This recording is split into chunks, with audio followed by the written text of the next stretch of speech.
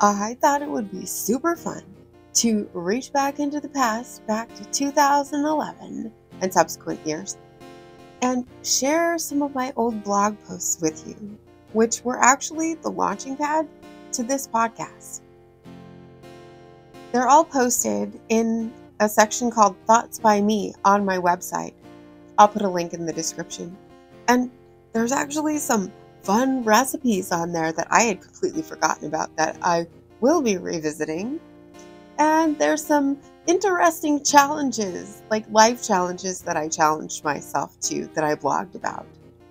Kind of fun. So let's take a blast to the past.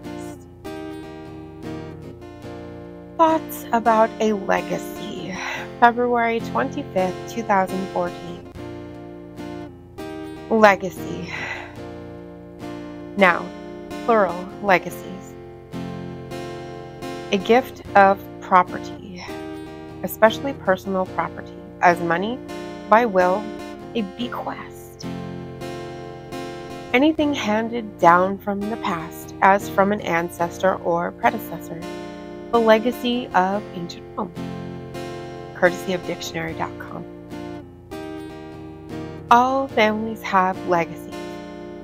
Sometimes we refer to them as generational curses as well. It's unavoidable. We're human. Some families pass down drinking and drug addiction. Some pass down worry. For some, it's abuse, others, anger and violence. There are families that pass on learned behavior and those that pass on genetic anomalies. I know families who have handed down depression and also some that nurtured serious gambling problems. Cancers have passed through families as well as diabetes. And of course, we can't forget the legacy of infidelity. The list could definitely go on and on. The good news is not all legacies have to be negative. We can also leave a legacy of love, grace, forgiveness, compassion, hope, encouragement, truth, understanding, forbearance, and faithfulness. That's the legacy I want to leave for my descendants. It's a choice I'm making. It's not an easy choice by any means. It's an uphill battle that I will fail at over and over.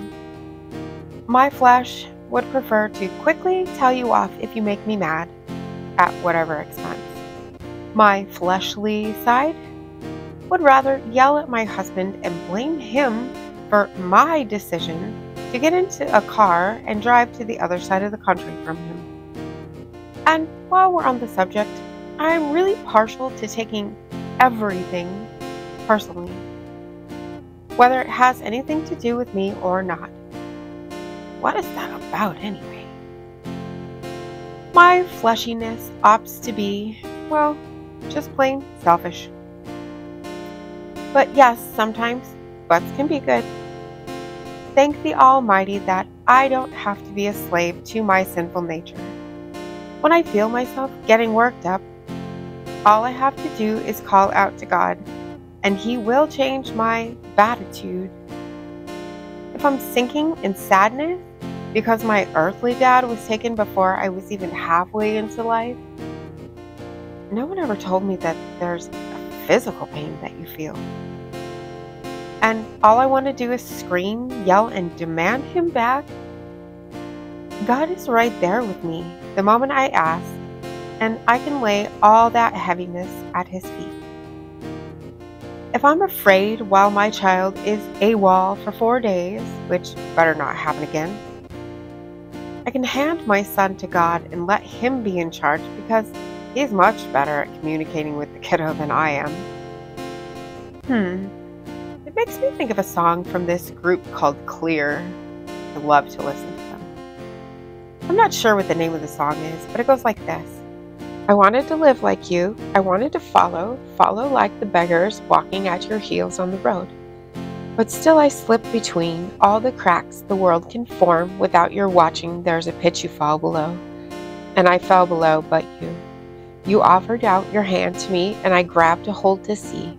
The darkness of the hole that I'd found was nothing like your light, and I'm free. When I close my eyes, I fall. Life's so fragile, not your love at all. Like the water in the sea, your love's inside my soul, now I'm free. The rays were beating down when suddenly the storm clouds covered up the sky and rang the fisherman's alarm. But he was silent, sleeping, tucked in a corner. When they woke him up, he saw their fear, and the wind and waves went calm, like you made me calm when you offered out your hand to me. The traits I want to be known for are not natural to me, not in the slightest. When I leave this earth, I want people to think of God's light shining through me whenever they talk about me. I want to bless people, not be a thorn in their side or an irritating nag. Someone gave me the best compliment I've ever had last August when I left Virginia. She thanked me for being real and not being judgmental of her. You see, that's one of my family's legacies being judgmental of others for their actions. For years, I walked around with a tree sticking out of my eye. See my previous entry, Thoughts from an Italian Restaurant, pointing out other people's mistakes and insufficiencies, proudly announcing, I would never. You fill in the blank. Who gave me the right to sit on my high horse looking down my nose at other sojourners here on this earth? Am I more important than my husband, neighbor, sister, grocery cashier, nail salon tech, the guy next to me at the stoplight? First Chronicles 29:15 says this: For we are strangers before thee, and sojourners, as were all our fathers. Our days on the earth are as a shadow, and there is none abiding. We aren't here by accident, not a one of us. Even some scientists are rethinking their theories because they see the flaws in their thinking.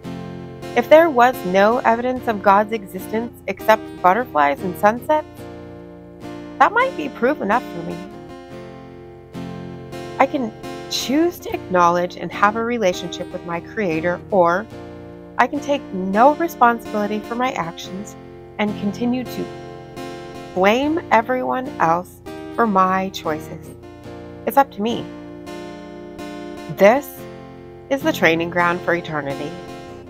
Why else would we have such differing talents and abilities?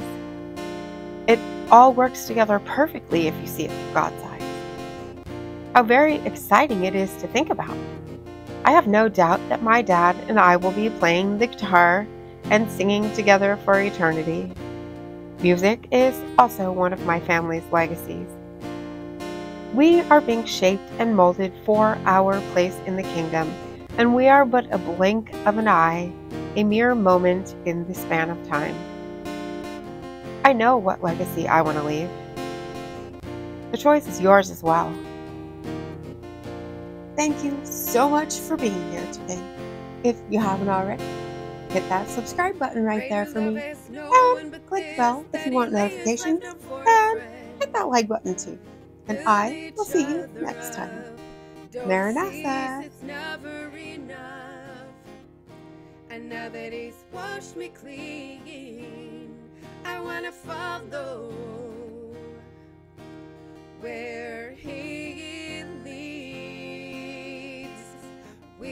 made to love, we were made to give. The reason why we're here, the reason why He gave us life. We were made to show the love of Christ. We know this is why we're here, this is why He gave us life. So let His love shine through in everything we do. It's all for love.